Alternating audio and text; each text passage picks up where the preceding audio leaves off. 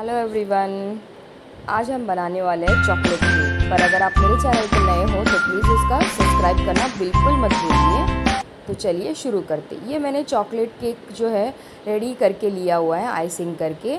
अब इसमें हम जो है मिल्क कंपाउंड यूज़ करने वाले हर बार मैंने आपको डार्क कंपाउंड बना के, लेके बना के दिखाया हुआ है। इस बार मिल्क कंपाउंड से मैं आपको डेकोरेशन कैसे करते हैं, ये दिखाऊँगी। बहुत कम लोग हैं जो मिल्क कंपाउंड बना के लेके जो है केक को डेकोरेट करते पर बहुत ही सुंदर और बहुत ही टेस्टी बनता है ये केक और दिखने में भी बहुत ही सुंदर दिखता है। मतलब जिसको डार्क कंपाउंड नहीं पसंद आता है, मिल्क कंपाउंड तो ऐसा है ना कि हर किसी को पसंद आता है।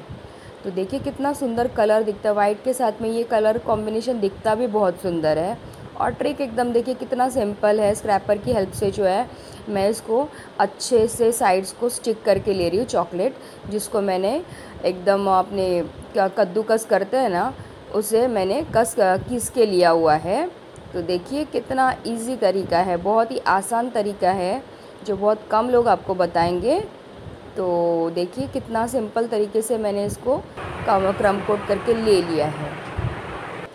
अभी जो है हम इसको बाजू में रोजेट्स बनाएँगे। ये अगेन मैंने वन एम नोज़ल लिया हुआ है जो जैसे बेकरी में बनाते हैं। आपने देखे होंगे बेकरी में ऐसे बड़े बड़ी टॉपिंग्स टाइप बना के देते हुए हैं। देखने में भी बहुत सुंदर दिखता है केक भी बड़ा दिखता है और खाने में तो लाजवाब लगता है। तो ये देखिए, मेरे पास ऐसे चॉकलेट बॉल्स है। मैं उससे आज डेकोरेशन करने वाली हूँ। आज टूटी फ्रूटी या चेरीज़ नहीं यूज़ करने वाली हूँ मैं।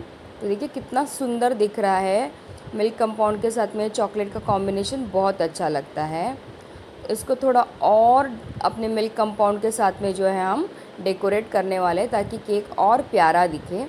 डेकोरेशन आपकी क्रिएटिविटी है, आपको जैसे चाहिए होगा वैसे आप डेकोरेट करा सकते हैं।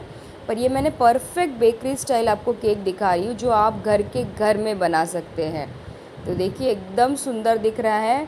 कस्टमर ने नाम बोला था वो मैंने लिख दिया। हर बार मैंने बताया आपको कैसे नाम लिखना है। तो देखिए, कितना सुंदर दिख रहा है केक। अगर मेरा वीडियो आपको अच्छा लगा हो, यूज़फुल लगा हो तो प्लीज़ मेरे चैनल को सब्सक्राइब ज़रूर कीजिए। फिर मिलेंगे नए वीडियो के साथ में।